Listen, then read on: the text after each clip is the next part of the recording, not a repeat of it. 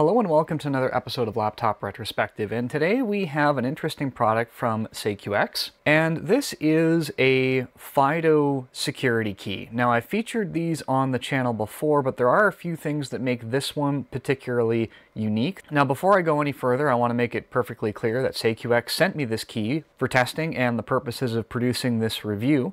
However, I'm not being financially compensated by SecuX, and my opinions, as always, remain my own. Now, their big claim to fame is actually included right on the packaging at the bottom there. And this is the first PUF based FIDO security key. Now, if your experience with security keys is zero or next to zero, and you know about a few bigger name companies that are producing these, you may not understand the significance of a PUF based security key. Now, SecuX as a company really has made their name in the production of crypto wallets and other blockchain security devices. So this is a relatively new uh, product for them, and they're kind of breaking into that security key market.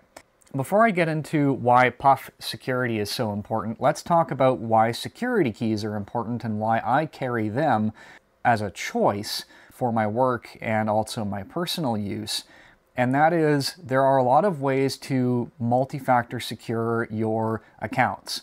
And I was thinking about this this morning, and I would much rather have my wallet stolen than my accounts hacked or my accounts stolen.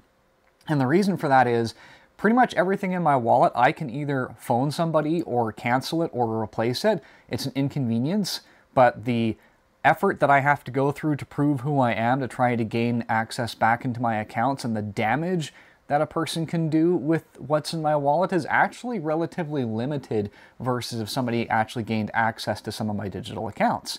And I imagine that if you stop and think about it, many of you will, you know, probably nod your head in agreement at this point in the video. What a security key allows is that it needs that physical handshake with this specific key to unlock your accounts.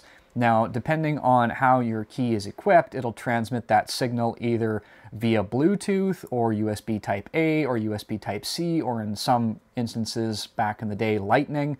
That all depends on the port. Now, with USB Type C being essentially the standard, it's very difficult to buy a computer without one nowadays, and practically all phones support USB Type C as well as tablets. So if you are using uh, 2FA with those devices, this will literally plug into the bottom and away you go. You can access your accounts. But let's pump the brakes a little bit and talk about the big difference, which of course is that PUF. What PUF stands for is physically unclonable function, which means that the security chip cannot have uh, two FIDO devices generate the same key.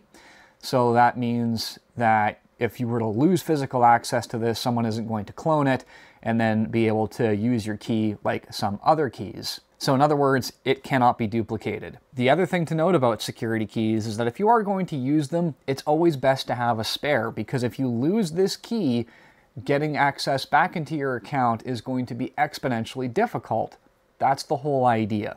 The challenge with all security, whether it's a lock on your door or a lock on your accounts, is to balance that fine line between security and convenience, and you don't want to tip usually one way too hard over the other.